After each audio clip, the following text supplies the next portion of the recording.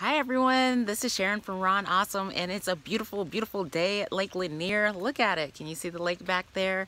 I am loving it out here. It's actually drizzling a little bit, but it's nice.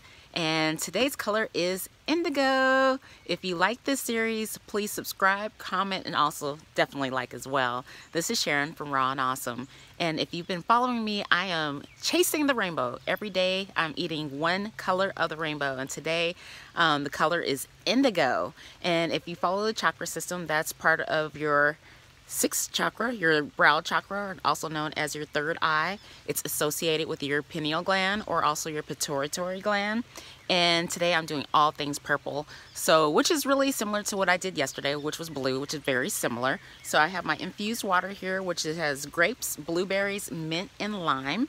And I'm also doing grape juice and for my lunch, I'm gonna have, or lunch slash breakfast, I will also have my um, cabbage, purple cabbage, and also purple potatoes that I had yesterday.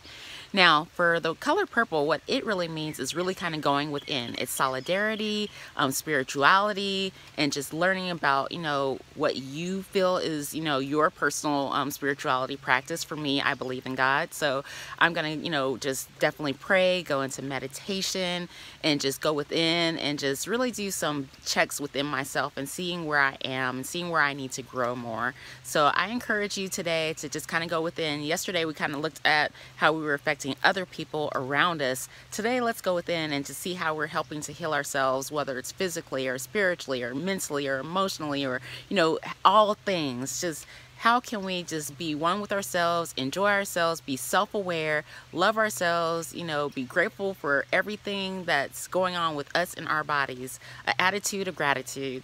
This is Sharon once again. Now I want to see your comments. What are you doing today? And have you had anything that's indigo or purple or blue? Are you wearing anything? Is it one of your favorite colors? What are your thoughts on its meaning and all things great? Talk to you soon.